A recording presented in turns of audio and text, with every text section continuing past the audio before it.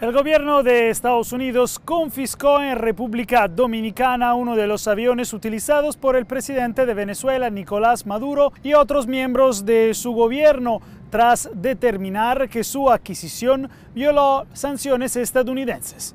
El avión, un pequeño Duso Falcon 900EX, fue llevado de Santo Domingo al aeropuerto de Fort Lauderdale, en el estado de Florida.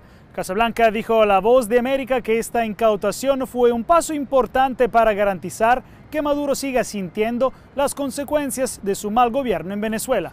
Recordamos que esta operación fue un trabajo conjunto de los departamentos de Justicia, Comercio y Seguridad Nacional. En materia penal estamos hablando de algo inaudito. Según las autoridades estadounidenses, esto envía un mensaje claro. Nadie está por encima de la ley y de las sanciones estadounidenses.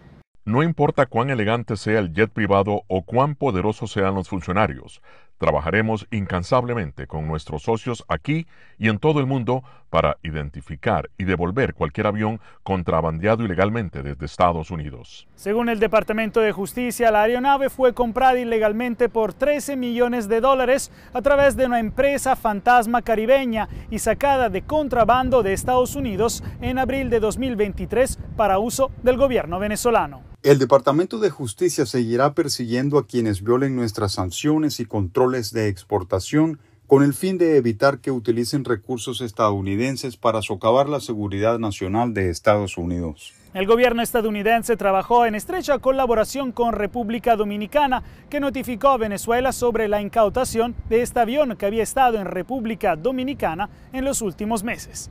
Sobre la investigación, el Departamento de Seguridad Nacional dijo a La Voz de América, esta investigación trata de una violación de las sanciones de los Estados Unidos al régimen de Nicolás Maduro, al igual que otras violaciones criminales que aún estamos investigando. Eh, además de violación de sanciones, eh, ¿hay algún tipo de sospecha sobre tráfico de drogas en este avión? Eh, la investigación continúa y no quisiera entrar en esos detalles ahora mismo. Esta confiscación es el último avance en lo que desde hace tiempo ha sido una relación fría entre Estados Unidos y Venezuela y marca una escalada mientras Estados Unidos continúa investigando lo que considera prácticas corruptas por parte del gobierno de Venezuela. Por su parte, Carajas dijo este lunes que el secuestro fue un acto de piratería. Desde Washington, Jacopo Luzzi, Voz de América.